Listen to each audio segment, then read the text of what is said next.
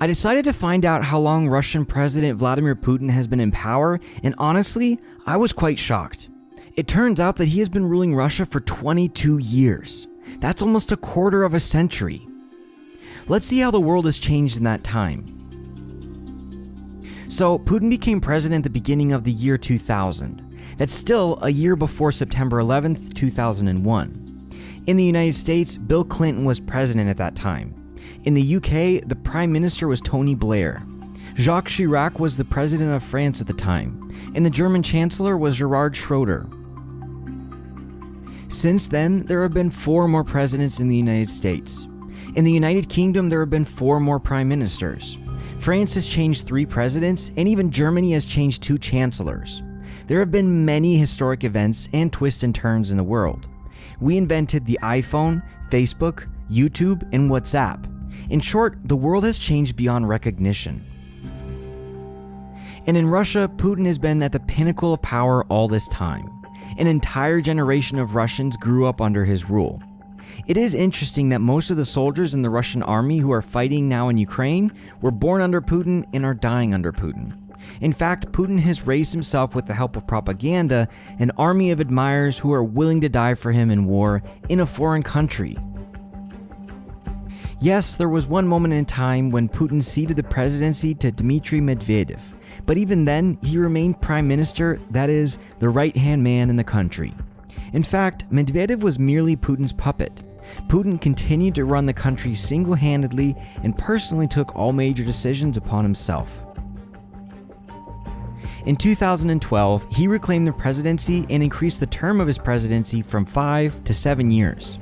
And in 2019, he is re elected again for a new term and amends the Russian constitution, thanks to which he can now be in power for the rest of his life.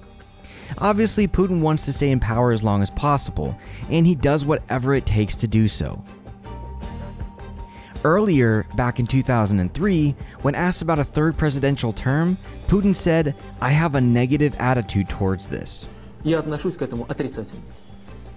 Then in 2008, he publicly stated, I have never been tempted to stay on for a third term.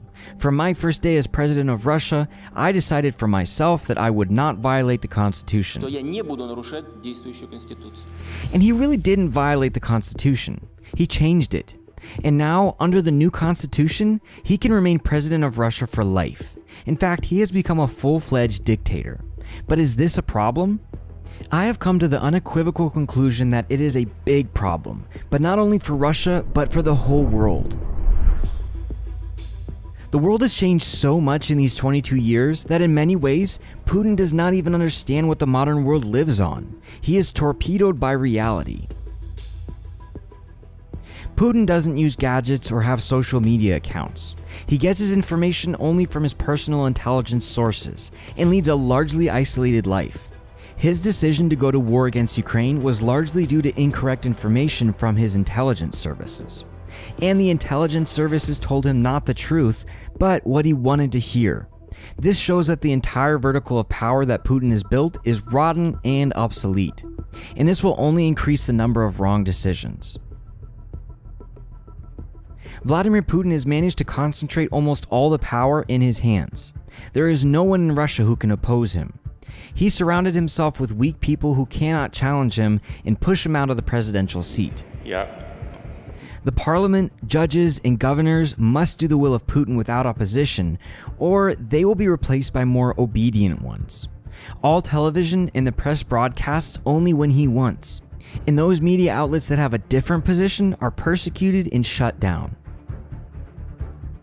But the worst thing is that Putin has become a hostage to his power, especially now that he has started a war in Ukraine. Staying in power means staying alive.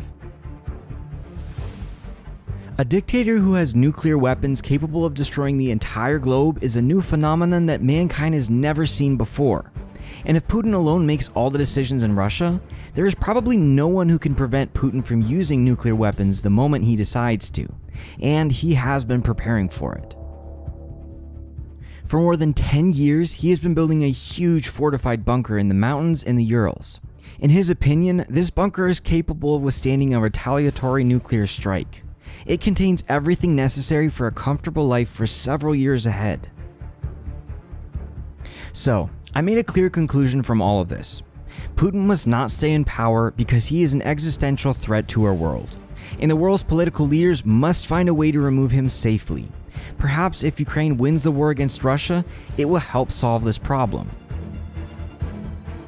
Well, if you found this interesting and would like to receive more similar videos, then subscribe to the channel.